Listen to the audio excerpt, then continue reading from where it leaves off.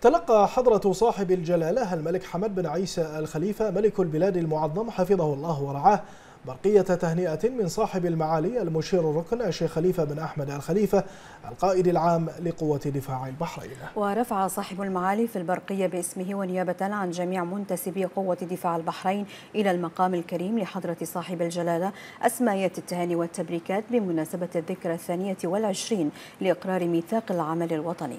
أكد معالي القائد العام لقوة دفاع البحرين في برقيته أن هذا الإنجاز الذي يفخر به الجميع والنجاح الذي تحقق منذ بداية المشروع الإصلاحي ما كان ليتحقق لولا الرؤية السديدة والحكيمة لجلالته.